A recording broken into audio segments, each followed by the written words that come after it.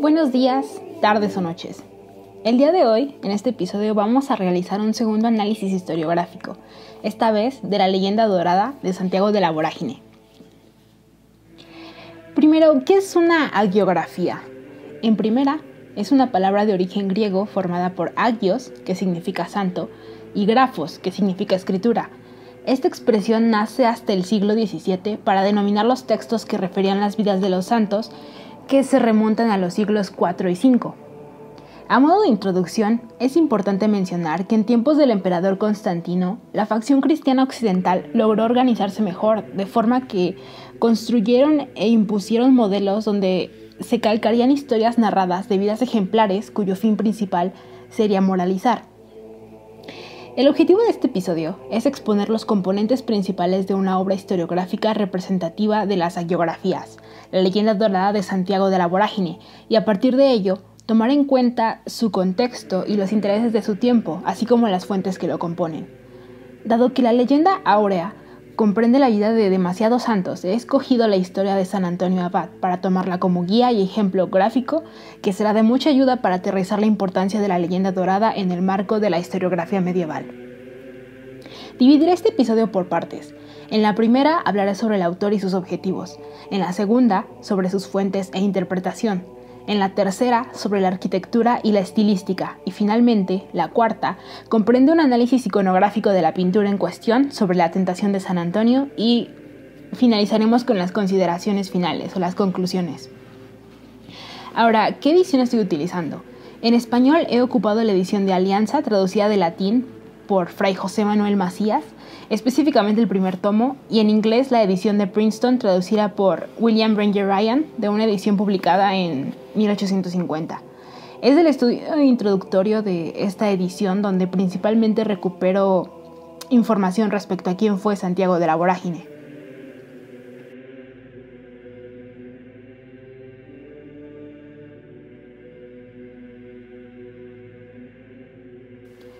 Parte 1. Autor y objetivos. Jacopo da Baratze, o en la versión hispanizada conocido como Santiago de la Vorágine, nació en Baratze en la región de Génova alrededor del año 1230 después de Cristo. En 1244 entró a la Orden Dominicana, donde en el curso de cuatro décadas fungió como profesor y estuvo en cargos administrativos importantes dentro de la Orden. No fue sino hasta 1292 que logró convertirse en obispo de Génova. Jacopo da Baratze nació en pleno siglo XIII, un momento dorado en las ciudades italianas en el sentido comercial y político. Murió en el 1298 y fue beatificado por el Papa Pío VII hasta 1812.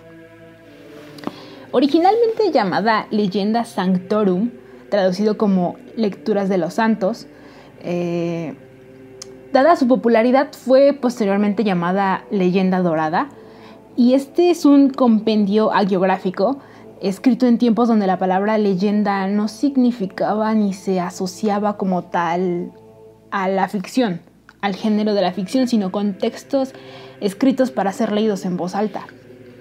Esta leyenda dorada fue escrita en el siglo XIII y dos siglos después las traducciones al francés eran las más abundantes. Fue un superventas de la época.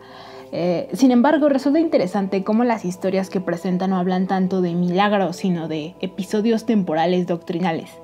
Este fue el uso de su tiempo, pero pues claro que dos centurias después se adaptaron, así como se tradujo a lenguas vernáculas como el francés para otros usos, de los cuales puede ser el entretenimiento, y se utilizó para crear representaciones eh, que, posteriormente trascendieron en la historia del arte.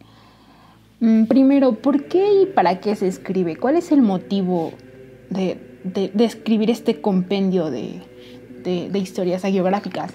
En pocas palabras, describe Antonio Rubial que la función de las agiografías consistió en operar como un manual auxiliar de la predicación y de la liturgia para combatir las herejías, esto con el objetivo de dirigir la formación de los fieles a comportamientos morales y difundir la veneración de los santos y eh, reforzar el prestigio de los institutos y las órdenes mendicantes. Se escribe entonces para construir vidas ejemplares, modelos y presentar un carácter estereotipado de la biografía de los santos. Esto especialmente lo resume muy bien Michel Desertot, eh, pues dice, la, la individualidad de la hagiografía cuenta menos que el personaje.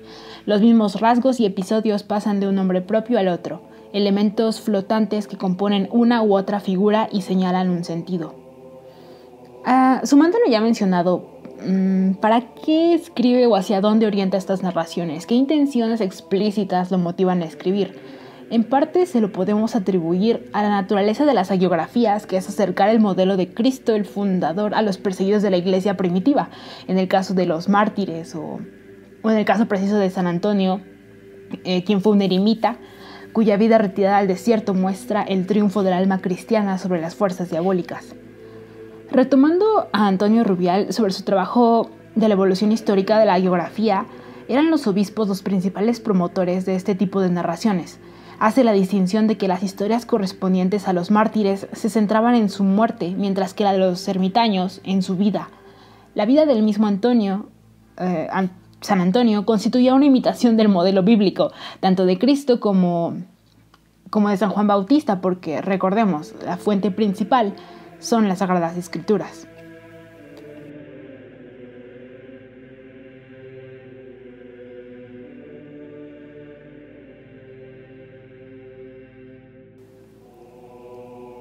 Parte 2. Fuentes, crítica e interpretación. ¿Cuáles son sus fuentes? ¿Qué ocupa Jacopo da Barazze? Eh, la leyenda dorada, según el, el francés Abbé José, es el trabajo de un compilador, donde identifica alrededor de 130 fuentes citadas y referenciadas, agrupándolas desde el siglo II después de Cristo hasta el siglo XIII. La lista de fuentes incluye antologías latinas, enciclopedias como la de Isidoro de Sevilla y algo bastante particular es que Santiago de la Vorágine se apoyó en fuentes apócrifas y poco confiables, pero ello no fue impedimento para descartarlas y aún así fueron utilizadas porque funcionaban para el propósito central. La parte doctrinal y mitificada del significado de la historia misma era lo que de verdad importaba, era el punto central, final y total de las narraciones. Ya mencionamos que la Biblia consistía, eh, fungía como el eje de las fuentes y en el caso de San Antonio se puede percibir la influencia del Evangelio según San Juan, el cual hace mención a este retiro en el desierto. Ahora bien, ¿qué criterio sigue para dar prioridad a determinadas fuentes?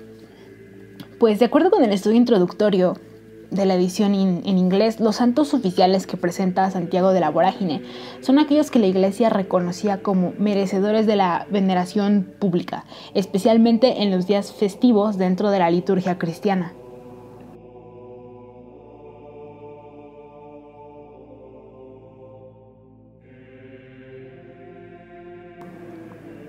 Parte 3. Estructura y estilística. ¿Cómo organiza Santiago de la Vorágine su obra? Pues la organizó dentro del marco del calendario litúrgico de la Iglesia Católica. Distribuyó las lecturas de los santos de acuerdo con las fechas de sus días festivos dentro de varias estaciones del año litúrgico, Adviento, Navidad, Cuaresma, Pascua y Pentecostés.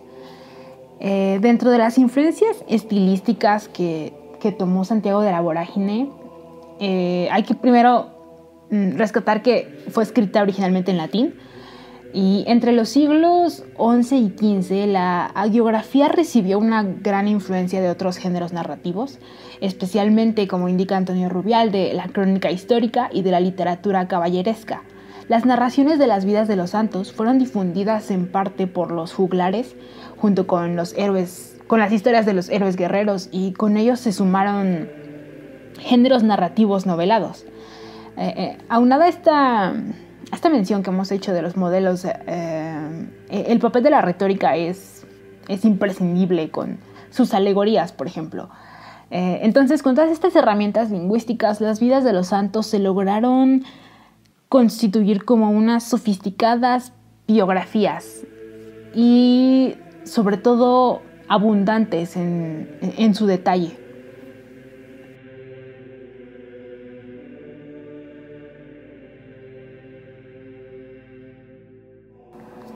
Parte 4. San Antonio y el demonio langosta. Para engancharlos más a esta pieza historiográfica, les quiero presentar una pintura que sirve como ejemplo de la gran influencia que tuvo la leyenda dorada para el arte medieval. Eh, les voy a pedir que observen la pintura que tienen en pantalla, que se muestra eh, como eh, la miniatura de este episodio. A grandes rasgos, San Antonio Abad nació en Egipto en el 251 después de Cristo. A los 18 años se convirtió en un cristiano evangélico y tras la muerte de sus padres decidió abandonar toda posesión material. Vivió 15 años como ermitaño y viajó al desierto, donde en un episodio se vio acosado por aburrimiento, lujuria o, eh, como lo llaman, el, el, espíritu de la fornicación, pensamientos indecorosos, deseos humanos y carnales, etc. Todos de los cuales el diablo es el culpable. Antes de saltar a la pintura misma, es pertinente explicar la situación de la imagen del diablo en el siglo XV época donde fue pintada esta escena de San Antonio, aunque el contenido haya sido escrito dos siglos antes. En el siglo XIII el cristianismo había ganado un dominio importante por toda Europa, por lo que la religión necesitaba mayor coherencia en sus explicaciones para continuar eh, legitimando su influencia y poder. Más aún, según Robert Moschenblatt, a partir del siglo XIV, la cuestión se hace necesaria fuera del universo monástico y entra la dimensión laica donde eh, comenzaba a crecer esta amenaza de la modernidad, sobre todo en, países como Francia e Inglaterra y con sus nuevas teorías políticas que, cada vez se sentía más, cercana. Eh, ella nos explica en parte la razón de existir de esta imagen y, quizá el por qué tiene esos colores tan llamativos.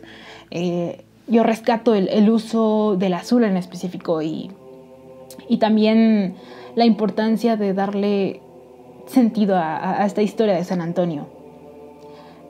Un análisis historiográfico se puede auxiliar de un iconográfico, y en este caso me apoyé en la metodología de Erwin Panofsky sobre los tres niveles de la iconografía, que consiste en, en ir más allá de la mera descripción de la pintura, para averiguar por qué, con base en este episodio que retrata, se pintó lo que se pintó.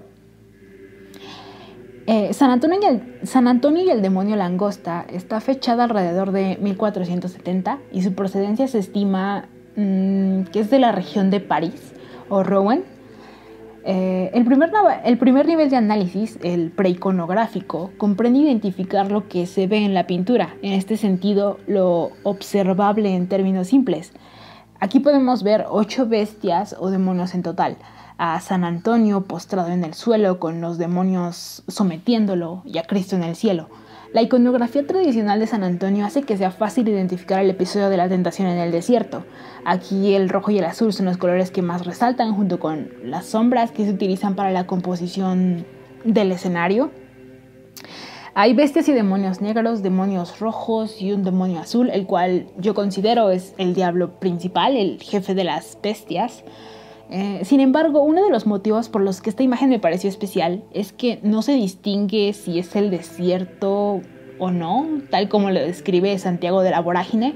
Más bien parece ser un campo o unas montañas y en la parte de abajo de la pintura se muestra un lago café donde desemboca agua que corre desde arriba. Pasando al nivel iconográfico, eh, retomando los elementos de las representaciones tradicionales de San Antonio que podemos encontrar en, otras pinturas, como son las cruces de Tau, los cerdos, eh, libros, campanas, etcétera, donde contiene imágenes mm, del entorno salvaje, figuras eróticas, mujeres desnudas y demonios con grandes órganos sexuales.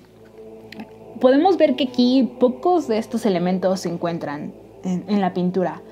El diablo en el siglo XV era comúnmente representado por encima de los humanos y, demonios para acentuar su superioridad.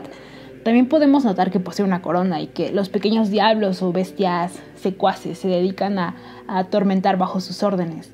La cara de San Antonio es de completa agonía, pero a la vez puede interpretarse o más bien confundirse con una expresión de serenidad donde en el instante de, esa tentación se está volviendo hacia su fe, se concentra para alcanzar la salvación, tal como lo indica de la vorágine. Las manos en posición de oración apoyan esa interpretación donde parece que se puso a rezarle a Cristo, dado que solo San Antonio es capaz de percibirlo con el poder de su fe. Las bestias se notan en posición de ataque, eh, vemos esas garras hacia afuera y una langosta, bestias con caras de cerdo y cuerpo de dragón, eh, etc. Todo ello toma sentido al remontarnos al contenido de los bestiarios medievales, mismos que historiadores consideran que tenían el objetivo de, al igual que las geografías, comunicar instrucciones morales. Estas criaturas representaban características asociadas con los humanos como la suciedad o la lujuria. Un dato curioso es que la langosta era un alimento apreciado en la Edad Media, pues se le calificaba de afrodisíaco, aunque en realidad se cree que era porque su carne, al, ser suave y, deliciosa, cuando era consumida en grandes cantidades provocaba hipertermia, en los órganos abdominales y pélvicos, y a la vez mejoraba el estado mental y, se decía que estimulaba el líbido. Por la parte del dragón, este animal era asociado a las enfermedades, muerte e infortunio. Se le atribuía la encarnación del mal, del diablo y Satán. Eh, esta imagen en particular, eh, sí, en esta imagen se puede ver agua concentrada en un pequeño lago, en la zona media derecha de la imagen, el color del lago cambia, de, pasa de ser cristalino a un color putrefacto. Y según descripciones de los dragones en la Edad Media, estos con sus orines eran capaces de podrir la piel humana, mientras que su aliento y su saliva contaminaban pozos y ríos. Uh, concentrarse en el significado de los colores estaría quizá de más por el momento, por ello me limitaré a señalar que el azul y el rojo dominan en la pintura, el azul más uniforme eh, cuya importancia en el arte cristiano es todo un tema aparte. Eh, en cuanto a la imagen de Cristo rodeado de ángeles, está representada como la capa superior donde el hombre medieval concebía la ubicación del Todopoderoso tras una serie de capas de aire, fuego y estrellas. Ya pasando al último nivel, el iconológico, rescatamos que el trabajo agiográfico de la leyenda dorada fue escrito en tiempos donde la palabra leyenda eh, no, no la asociábamos a como lo hacemos ahora. Eh, eran textos escritos para ser leídos en voz alta y recordemos esta influencia de los juglares. La leyenda ahora fue este bestseller que aún ya en el siglo XV que se tradujo a, lenguas vernáculas, es posible que, además de este uso doctrinal, pudiera servir como entretenimiento y, como lo ha comprobado la tradición iconográfica de la tentación de San Antonio, su utilidad para inspirar la creación de pinturas. Y repito, trascender dentro de la historia del arte. Bien, a modo de conclusión eh, para este episodio, las hagiografías medievales, en palabras de Norma Durán, ejemplifican que la historia queda estructurada bíblicamente. Historia o hagiografía se leían indistintamente, no había separación que tuviera sentido. La función de ambas era la misma, litúrgica y ética, dar buenos ejemplos y aprender modelos de conductas. La historiografía fundamentalmente eclesiástica, entonces implicaba las formas narrativas y estructuración impuestas por un cambio en la forma de ver el mundo, es decir, por una identidad donde el ser humano medieval posee una moral interior y este ser humano y la misma sociedad reconoce que es la Biblia el libro que da la totalidad de la historia. No hay que pensar más allá. San Antonio y el demonio langosta es una pintura atractiva, a mi parecer, que a su vez carga con una imagen de terror y sometimiento, como si esas fueran las consecuencias de desviarse de la fe y ceder ante la lujuria. Santiago de la Vorágine cumplió con su narración de la vida de San Antonio, dejando de lado las sutilezas, pero dejando que el lector echara a volar su imaginación y se aterrara de ella a través de, de, las palabras. Eh, sin embargo, representaciones como esta del siglo XV respetan el objetivo original, pero además logran integrar motivos distintos que solo con su contexto, es decir, eh, estudiando lo que, lo que pasaba en, el siglo XV, los cambios sociales y políticos, como la imprenta, la amenaza protestante, el peso de la monarquía, todo ello nos, nos ayudan a entender cómo se le suman estos otros motivos en la representación gráfica.